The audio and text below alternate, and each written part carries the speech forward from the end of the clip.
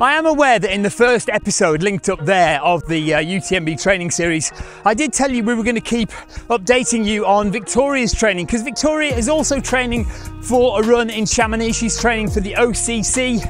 So we're going to do that today as well as looking back on week four of UTMB training. Now this week is the final week of training at around 100k a week. So this week we did around 103, 104 kilometers split between Zwift on the treadmill and outdoors. And we did about 54, 53, 54 kilometers on the treadmill and 50k outside.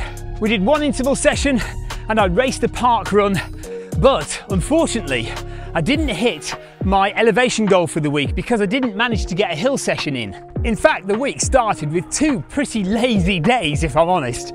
Monday was just 10k on Zwift. In the evening, low heart rate, steady running. And then Tuesday, all I did was the Film My Run 500 on Zwift. So that's only 4.2 kilometers.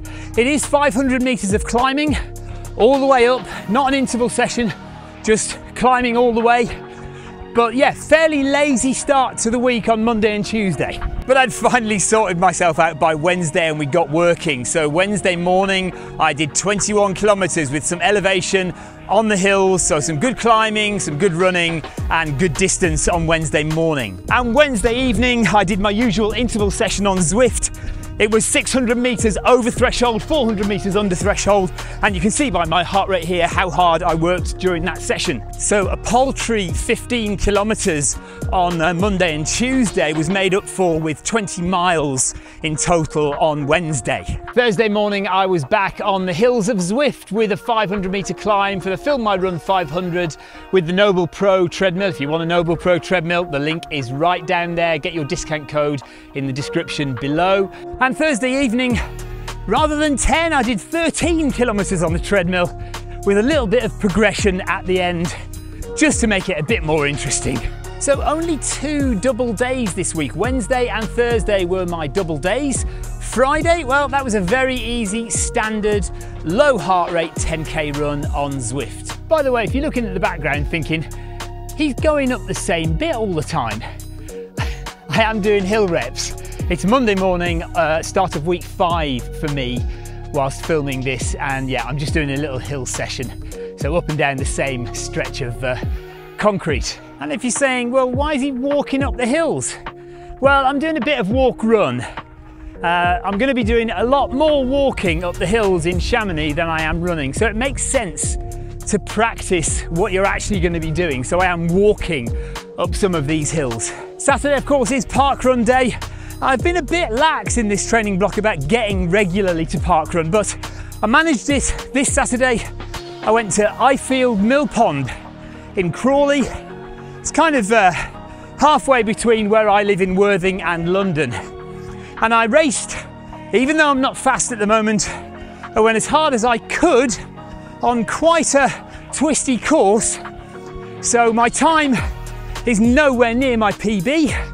2050, something like that, 2048 I think, for uh, Ifield Mill Pond Park Run on Saturday. And that left the long run on Sunday. We did 21 kilometres, 13 miles on the hills with some of the guys from my running club and got some good elevation in as well, about 450 meters of elevation gain. So that made it up to 104K, 103, 104K for the week just missing my elevation goal of 2,000 meters. I came in at 1,900 or so meters. So I did two hard efforts in the week, the park run and the Wednesday interval session, but no actual hill interval sessions this week. All my elevation was made up of running on the downs or running straight up on the treadmill. Stick around to the end because I'm going to tell you what I'm going to be doing for week five of the UTMB training block. But right now we're going to have a little look at what Victoria has been doing over the past four weeks for her training. I do always need to remember how lucky I am because I get to train pretty much whenever I want to. I can go out in the mornings, in the afternoons or the evenings because my work schedule allows for that but Victoria's work schedule is a lot more defined. At the beginning of the training block, Victoria and I agreed she should be looking at around about 60 kilometres for the week and around about 1,000 to 1,500 metres of elevation during the week as well. So that was loosely Victoria's training regime for the next eight to 10 weeks. And Victoria's first week got off to a really good start. She did 65 kilometres and a good 1500 metres or so, I think, of elevation gain with some hill reps thrown in. So that was a great start for Victoria in week one. By the way, if you are enjoying the video, if you're finding it useful or interesting, as always, please do hit the like button. If you're not subscribed, like I said last week, we are a small channel and we are trying to grow. So please do hit that subscribe button and the notifications bell. We'd really appreciate it. Thanks so much. Now, of course, Victoria works during the day. She finishes at 2.30 in the afternoon, and that often means that she can get out for a run in the late afternoon or early evening sometime. However, second week, Victoria wasn't feeling well. She did work, but once she'd finished work, she was absolutely shattered and just couldn't make it out. So she didn't manage to get what she wanted for her second week of training. She only hit around 30 kilometres of running and less than 500 metres of elevation gain for week two. So a little bit of a low period for Victoria. But Victoria was back on it again for week number three. She did 55 kilometres or so, I think, and then around 1500 meters, a good 1500 meters of elevation gain with a hill rep session thrown in. So really good to get those hill rep sessions in, climbing up the hill, working the legs, and then working the quads on the way down the hill as well. And week four was pretty decent for Victoria as well. Uh, she did around 50k, 52 kilometers or so last week, and uh, a good 1500 meters once again, another 1500 meters of elevation gain. She did a really good hill session as well uh, last week, seven times up this hill that I'm doing today, seven times up and down.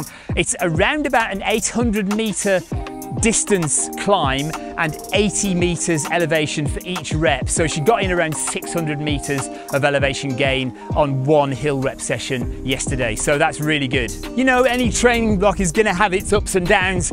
So Victoria's training block hasn't gone perfectly, but mine hasn't gone perfectly either. I could have definitely done with a little bit more elevation gain so far. So we're four weeks in. Victoria, as you know, is training for a 56 kilometre run called the OCC in Chamonix. And I'm training for the full 100 mile, well, it's over 100 mile UTMB race. But we are also training for the North Downs Way 100 miler, which is part of our Centurion Grand Slam attempt. So it's number three of the four, um, and that's in three weeks' time. So we need to make sure that we're on it for that as well. Whilst the North Downs Way isn't our main A race, we do want to finish it. So next week, Victoria and I will both be upping the mileage. So I'm going to go up to 130 or so K for week five.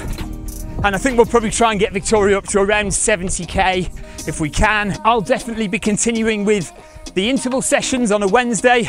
I'll try and race a few more park runs. I think we even have some more West Sussex Fun Run League races to go to as well. I'm going to try and up the elevation gain a little bit, but definitely increasing the mileage this week. If you'd like to watch the video of me coming second in parkrun this week, then uh, just click that link right there. Um, in the comments below, do tell me, how do you manage your running life balance? You know, it's really difficult to fit work with running. How do you do it? Let me know in the comments. And if you're not subscribed to the channel, I'd really appreciate if you could do that now. Thank you very much for watching and we'll see you on the start line next time. Bye guys.